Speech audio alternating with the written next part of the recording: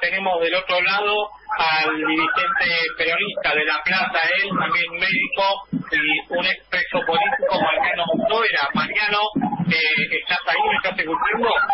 Te escucho, te escucho perfectamente, más o menos me voy corriendo un cachito porque te imaginas que acá en la puerta de tribunales es, muchísima gente y gracias a Dios es una jornada de lucha eh, sobre la que realmente estamos estamos muy satisfechos de, del proceso que se está llevando adelante. Yo no sé si ustedes me escuchan bien.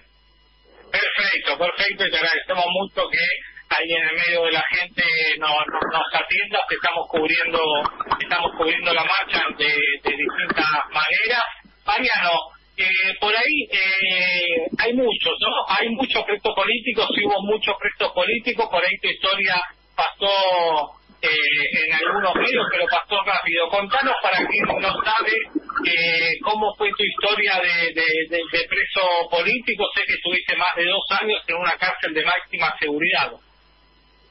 Sí, eh, digamos, eh, más allá de, mi cuestión personal, sobre la que obviamente estoy orgulloso de lo que me tocó pasar, eh, siempre creemos que las cuestiones son colectivas y hoy, justamente por lo que me tocó pasar, en realidad venimos a, pedir para que ninguno, ningún compañero eh, siga detenido y lo que pedimos es una Navidad sin, sin presos políticos y desde luego que, que los procesos son colectivos, por eso te digo, estamos pidiendo por la libertad de los que están, eh, de los que están detenidos.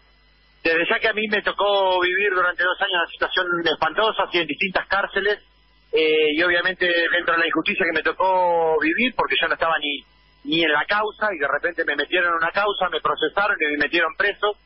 No tengo ni juicio, yo todavía no, no fui ni juicio, tengo fecha de juicio para octubre del 2022 y sin embargo estuve dos años, más de dos años detenidos eh, en distintas cárceles de máxima seguridad, eh, en Magdalena, en distintos lugares.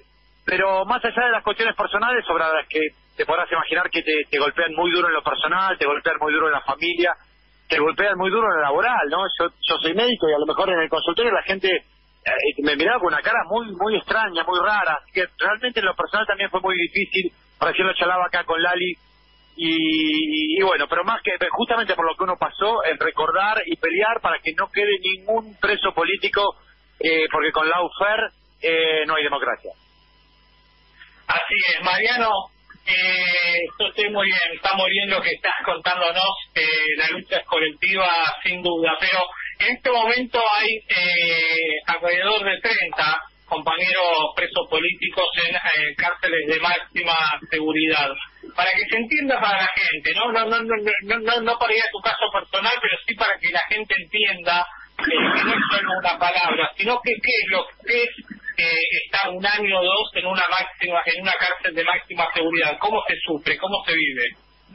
No, no, es, muy difícil, muy difícil. llegan columnas y uno me emociona por todo lo que me tocó. A lo mejor cuando estuve detenido me soñaba con esto, me encanta, soy feliz de, pelear en la calle el destino nuestro, el destino de tantos compañeros.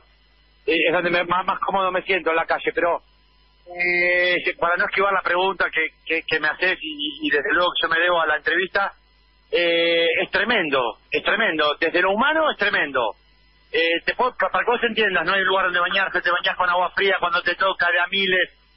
Convivís con, por ejemplo, las ratas son parte, las ratas de a cientos, doscientas, trescientas ratas son forman parte de, mm, de el decorado normal, ¿me entendés? Vos tenés que andar cerrando las puertas para que no se queden las ratas adentro, eh, comés si te llevan comida a tus familiares, hay ningún tipo de atención médica, ninguno, ninguno. De hecho, yo como fui médico atendía a cientos de pacientes en los distintos momentos que me tocó estar porque hay un abandono de las personas.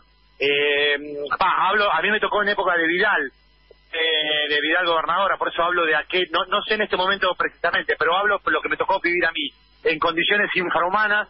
Eh, te imaginas que yo en la celda vivíamos con eh, dos compañeros más, eh, en una celda que sería de, diría, dos por tres, incluido el baño y las camas, y nuestra ropa y nuestras cosas, y la comida que nos traían nuestros familiares, porque si no, no comés eh, es lo más indigno que le puede pasar a una persona, pero más eh, en aquel momento te puedo decir que eh, cuando estuve detenido yo, el gobierno macrista en su apogeo eh, daba tanta tanto tanto temor, tanta soledad, eh, tanta preocupación por, por, el país, pero también por la familia y por el destino de uno mismo. Fue eh, tremendo, tremendo, tremendo.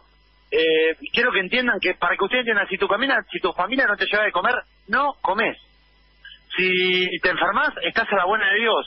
La gente se muere de apendicitis en el año 2020, ¿me entendés? O el año 2019. Para que dimensionen lo que es una cárcel de máxima seguridad. Ni hablar que yo que nunca había estado detenido, jamás estuve detenido, me hicieron convivir con eh, gente que tenía causas por violación, gente que tenía causas eh, por asesinato, gente que tenía causas por secuestro, y yo nunca había estado detenido. A eso nos, sometió el, macrismo, eh, y de eso fuimos parte. No, no sé si fui claro y si salió bien, por eso a lo mejor no lo quiero hacer más largo. No, no, es muy claro. Es, muy triste, muy duro y es muy claro, eh, pero me parece que, que, hay que saberlo porque no no es solo estar privado de libertad, sino es estar sufriendo y mucho día a día. Eh, supongamos que en estos momentos te están escuchando, que por ahí te están escuchando los compañeros que están presos como, como estuviste vos. ¿Tendrías algunas palabras para con, ellos? Sí, sí, sí. Mirá, yo, por ejemplo, a Milagro Sales, por lo que estoy peleando su libertad hoy, yo ni bien me escarcelaron, eh, ni bien logré la escarcelación, eh, yo fui a su casa inmediatamente. Eh, estoy a disposición y acá estoy cumpliendo con lo que le dije a Milagro Sala. Milagro, voy a pelear hasta el último día de mi vida para que estés en libertad. Fui al penal de Alto Comedero. Primero, eh, yo no sé si ustedes saben lo que es Alto Comedero. Alto Comedero es un barrio de Jujuy, de San Salvador de Jujuy, como si digamos en Capital Federal o en La Plata, digamos Citibel, ¿me entiendes? Yo soy de La Plata. Como si fuera en La Plata Citibel, como si fuera, no sé, Palermo en Capital Federal. ¿Se entiende? Es un barrio, ah, bueno, porque Alto Comedero suena como si fuera todo lo mismo. Es un barrio de allá. El barrio más grande que yo he conocido, me que hago política hace 40 años, el barrio más grande y la obra más grande que yo le voy a hacer eh, a un cristiano, a un ser humano, lo hizo Milagro Salas en el Alto Comedero. Y el gobernador Morales abandonó todo.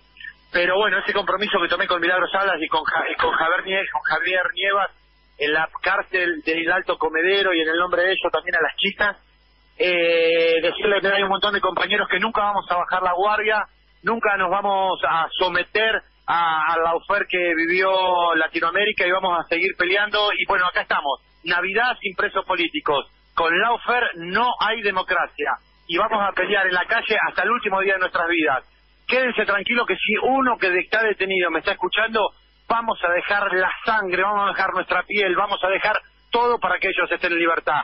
Queremos que vuelvan a estar con sus hijos, queremos que vuelvan a estar con su familia. Lo único que hicieron fueron ser militantes sociales, estar al servicio del otro. Eh, estamos orgullosos de su lucha, no solo que no que estamos peleando acá eh, por, su libertad, pero estamos peleando por lo grande que fue su lucha, por lo grande que hicieron eh, a la República Argentina.